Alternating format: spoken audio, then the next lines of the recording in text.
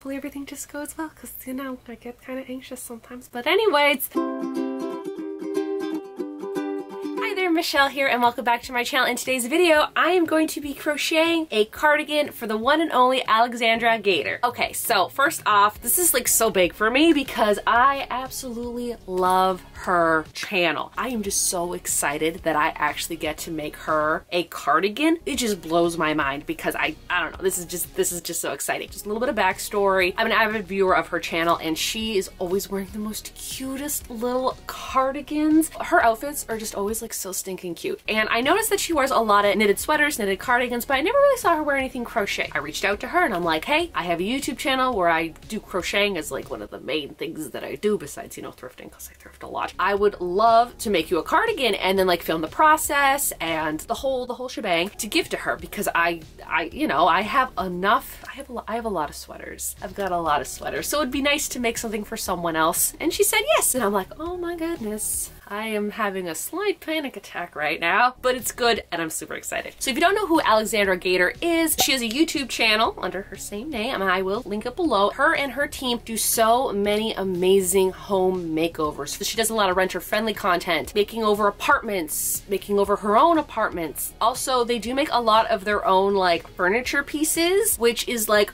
really neat to see and it kind of makes me want to like get into woodworking if I wasn't so afraid of metal things going super fast that could just like slice your arm off. I don't know, maybe one day, but I think I'll just stick to the crocheting for right now. I mean, I could technically stab myself with a crochet hook, so I mean, there's a little bit of danger in crocheting. Knitting never hurt anyone. Now, how did I do that? But it's less dangerous than uh, using a saw that's going super, super fast. So what I ended up doing is I made a Pinterest board of just a bunch of different ideas that I was thinking of and I sent it to her so she could just kind of pick what she's looking for. And she actually picked the hexagon cardigan. And I had just made one. I've learned from that cardigan and I know what to do for this one. So I'm really glad that this is not the first hexagon cardigan that I am making because oh boy, the other one was, it wasn't bad. But I had some major detours in that one. It's great that now I know what I'm doing. Anyways, I asked her what type of colors and stuff she wanted and she mentioned that she likes pink, green, purple, and mustard yellow. Those are just all my favorite colors too. You know me. I love a good mustard yellow. I went to Michael's to pick out some yarn choices and they had a lot and I was really debating. I really love like the pastel pinks, greens, purples, yellows. I think they all look really good together but the problem is is that if you mix all of them together it gets a little Eastery, little spring, although I do love spring. So I just kind of like picked and chose the colors that I think would look really good together. The main color that I picked is going to be this off-white. It looks white, but then when you put it next to white, it's not white at all. And so I got this off-white color, and then I went with this color here, which is soft rose. And I love this soft rose color. I've made so many things in this color. I just think it's so gorgeous. And of course, it is the Impeccable brand. They have a lot of variety colors, even though their prices went up just a little bit. It's fine. If a color's cute, I'm gonna pay the price for yarn. Just looking at these two colors together just makes such a lovely cardigan. And then also picked up this mustard colored yarn, which is just called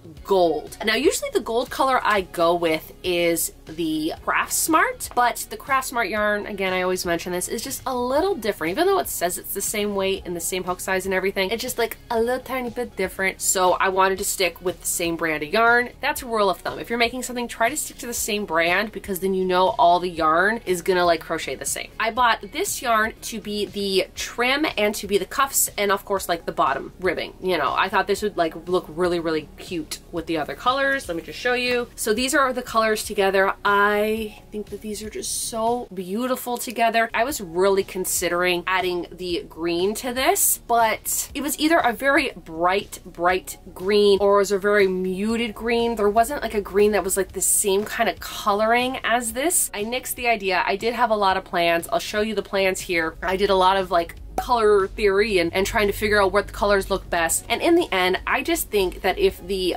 main base or the two sides of the hexagon cardigan are just the white and the pink and then the yellow for the trim. I think that works really nice. I think that it's not going to be too busy. Also for this project, I will be using a five millimeter crochet hook, which I pretty much just use for all my projects because it's my favorite hook. Now I did enjoy working on my last hexagon cardigan. That's why I was kind of thinking that like doing another one right after the one I did is going to be great because I know what I'm doing and hopefully it will go by quickly. More quickly than the last one. The last one just seemed to go on and on and on. But this one, because the yarn is a little bit thicker than my last yarn, I think it's to be very successful. So let's just get right into making this cardigan. First off, I just want to say I really love these colors together and I made sure that there was one, two, three, four, five, six.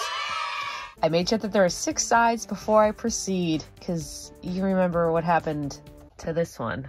Remember, remember that one? I have to keep this one here so that way it reminds me of my mess up, but also so I do it properly. I'm really loving these colors right now. I'm gonna I'm gonna keep going. Okay, so something that I learned from the last cardigan, well, not so much learned, it's different. So I'm not using four colors for this project. I'm using two colors for the sides, and then eventually I will be using the yellow mustard gold color for, you know, the trim and the cuffs. But because I'm just doing two colors, of course I figure that out down here, is that I don't need to keep cutting my yarn, tying it off, putting another color in, etc. because it's two colors. And because this is going to be the inside, as you can see here, I didn't cut the pink. I just took the pink and pulled it up.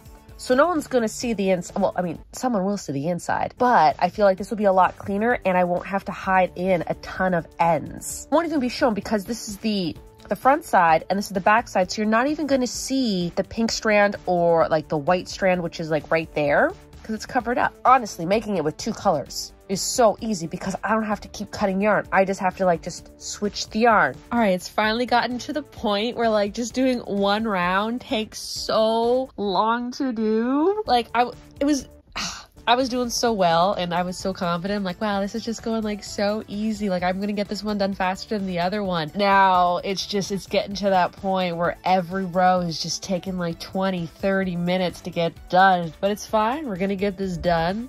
It's, it's, it's, it's gonna happen. It's gonna happen. Sure, like right now it is the size of a of a child's sweater, but um, not the size I'm going for. I still have a lot of work to do and I'm still on the first panel, so it's gonna keep keep going. And of course, Pippin wants to know what I'm up to. Look at that. Look at that little face. so sweet. Such a sweet eye. My initial plan is not going to plan. You know, it's me. It's not it's not a Michelle crochet project unless, you know, something takes a deep dive and goes off a cliff and burns. It's not that bad. It's not that bad. But what I did is I laid the one that I already made, the one that I really like the fit, that I think is a good fit. And then I put this one down. So this is a thicker yarn than this. Because of how heavy this cotton yarn was, because this is acrylic, it's almost like the same size. Like I feel like these are even a little bit bigger than this. Like these, like the little guys look a little bit smaller. My plan, if you come on over here, I think I'm gonna do another set of rows. So like another set. So like I'm gonna do one more pink and then I'm gonna do two more rows of the white. And then I think that will get the length because this is just a little short and I kind of want it to be a little bit longer. That's what I'm gonna work on today. I really wanna get this side done. Again, it's always the first side of the project that always stresses me out because I'm like, am I gonna have enough yarn? How far am I gonna have to go? What are the measurements? I don't know yet. I have a good idea of where this is going. We're gonna get this done and then I can work on the second one and then, you know, like connect it, do the trim, do the sleevey thingies, etc. Okay, update. Little, little, little update. I have half of it done now. Look at that. So it goes like this like that. Half of the cardigan is done. I think it's really cute. So the thing where it kind of tripped me up a little bit on this cardigan, because again, I've only made one before and I'm kind of going off basing this one off of that one, but that one was made with cotton yarn and smaller yarn. This one here, I think I actually had to make it the exact same size. I wasn't going to, I'm like, oh, I don't need to do the extra rows. But then when I got kind of to where I thought I should stop at, I'm like, oh, I want it to be a little bit more, just a little bit. Did do the same thing that I did for the other one, which I learned is instead of doing a double border here at the end, when I attach it together at the top, it will create that double border from both sides. You know what I mean? And then I'm still debating if I want to do a, another white line here and another white line at the bottom. I'm gonna see. I don't think I need to. I don't think I need to, so I don't know if I'm going to yet. I'm gonna start the other side, and then once that side's done, I can add the gold. Look at how beautiful those colors look together. Oh my I am a little sad that I didn't use the green because I did buy a green and then I decided against it because I think it would be way too much colors and I kind of wanted to like simplify it but also still make it like still jazz it up with like three colors but I think four would have been a little too much. Also I love how I can just like fold it into like a little square and put it away. That's pretty much where I am right now. I'm gonna get the other side done. When the other side's done, I can go and tell you the next steps, which is basically the border, trim, and cuffs. But we'll get to that. We'll get to that. Hopefully, hopefully I can get this done this week because there's another project that I'm dying. Like I wanna make this other project so badly, but I gotta do this one first. This project is super fun, don't get me wrong, I love it. I love using these yarns, it's fun. But the other one, oh, oh, I'm just excited for the other one too. As you saw, I already finished this half of the cardigan. And then I just started the second half, but always before I carry on, because I made a, a grave error the last cardigan I made, I must count. One, two, three, four, five, six. Okay, there's six sides,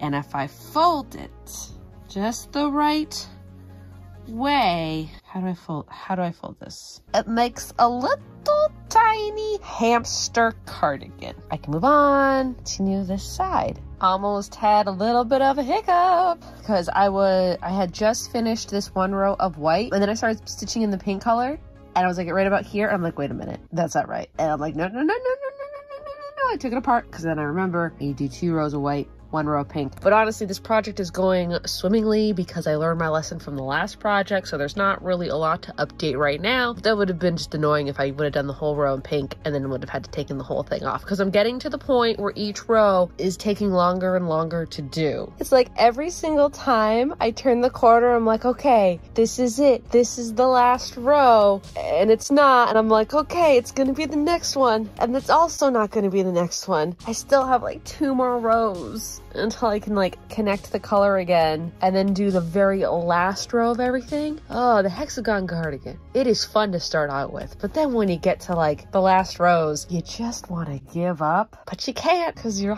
you're so you're so close. So close to being done. I finished the second half. Now I have two halves of the cardigan, so today I get to attach them, finally, and then I can start on the trim, which I'm so excited for. I'm just so excited that these are done. These take forever to do, but they're done. So I have the two sides done. I used four skeins of the white and three well, here's the thing. I had one full skein of the pink and then I had probably like three quarters of a one of the same color because I love that color so I just had it in my stash. So I had that but I had just run out. Like I did not have enough pink to do the final line on the side. So I had to go out and buy another pink and I have, uh, where is it? it? Should be in here. So I still have all this pink left, but I mean, I'm gonna use it because it's one of my favorite colors of pink. Today I'm going to be attaching these together and then I think I'm gonna do the trim first and then the cuffs. So I think I wanna connect them together and then I'm gonna try it on and see how long I need the cuffs. She did mention she loves the oversized look. I love the oversized look. So I feel like with what, what I, what I make, I hope will be okay. I hope it's okay for you. But yeah, so attaching and starting the trim, which is so exciting because means that's almost done. And then I get to start on my next project. I'm never not working on a project. Finally at the part where I can attach everything together. So I'm going to be using these clamps. The clamps! To clamp them together. Well, the parts you need to clamp together. I'm also going to be using a yarn needle and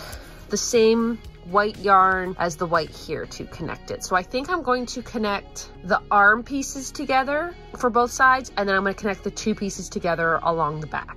Last night I actually got the front collar bit done and then I started working on the bottom and I got about halfway done the bottom part. So I'm gonna finish the trim on it and then I'm also gonna be doing the cuffs today. It's a different yellow on camera and in the daylight it looks different. So it looks a lot better in person and when it's like not lit by, you know, artificial lighting. What I ended up doing is I learned this from my last project is, or like, you know, the last hexagon project I did. You see how that's the top of the arm for this side and that's the top of the arm for that side. What I originally did is I, I would actually attach them together, but instead when I was attaching the back part here, I left a little bit so then that way there's more of a neck because mine doesn't have like the back of a neck and it's kind of uncomfortable. So I wanted to improve upon that and do it like this. Yeah, I'm just gonna continue crocheting tonight and I'm probably, I am, I'm just gonna put this out there. I'm gonna get this project done. I'm gonna get this project done tonight because I'm gonna do it. I'm, I'm, I'm, I'm gonna I'm gonna do it. The cardigan is all done. Like I was saying that the the gold just really doesn't look well when it's not underneath the right lighting, but like look at how cute these colors look together. And I did make a lot of changes in this one then again this one I made a lot of really good changes I feel in here ones that I probably would not have known about had I not already made the project just need to like actually give it to her now so hopefully that goes well. I don't know, I'm still very nervous. Hopefully everything just goes well because, you know, I get kind of anxious sometimes. But anyways, the project's done. And the next is for Alexandra to get the cardigan. Because it's me, and like me, I forgot to film myself packing up the cardigan and mailing it off. Also, mailing things sometimes gives me a little bit of anxiety because what if I packaged it wrong or what if I wrote down the wrong address? But here we are. Everything's fine. I also have no idea what this is gonna look like. It is a true surprise.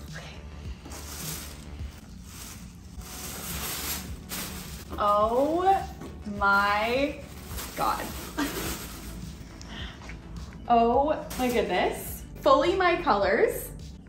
I can't believe someone made this. Look at Sanja's face.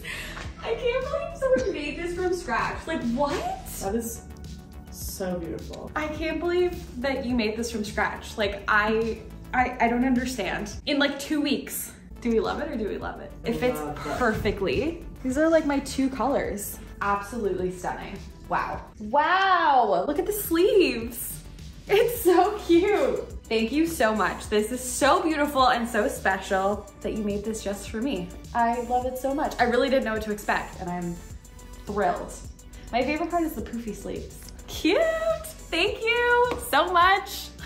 I am so happy that I was able to make this cardigan for Alexandra. I'm like kind of jealous that I had to give it away because of how cute the colors were and it's honestly so weird not to have it. You know what I mean? Like every time I make something, I always have it, but this is like the first thing that I'm never gonna see again which is kind of weird. But I am so happy that she loves it. I am I'm so grateful that she actually filmed her reaction to it. Like that was like amazing because then I can put it in this video. And I have to agree with her, like the puffy sleeves are probably my favorite thing to make on any of my crochet projects. I just I just love the puffy sleeves. So let's kind of now go over the logistics of everything that I did. So in total, it took me 23 hours to make. And I think the other cardigan, I think took around the same time. If not, I think this one took actually a little bit longer. Now I just want to go through like a few things that I learned from this project to obviously that amazing one that I made for her because I don't have that one to demonstrate with you. I'm just going to show you on this one. A few things that I learned is when I was doing the neck on hers, I put a lot more ribbing up here so then that way it was a lot more looser on the neck and then I also, you know, from the last video of this I did, I did remember how to do the nice rounded edges on the bottom, so that was great. I learned a lot from this project. It's funny, whatever your first project is, it might go okay, but you're probably gonna make a lot of mistakes, and from those mistakes you're gonna learn from them, so you don't make them the next time you make something. And then another thing that I did on hers that I didn't do for mine, when I was actually doing the hexagon pattern, one chain in between each one of these like, you know, little guys, and on hers, I didn't do any chains, and I really liked how that looked looked a lot better. It didn't make like a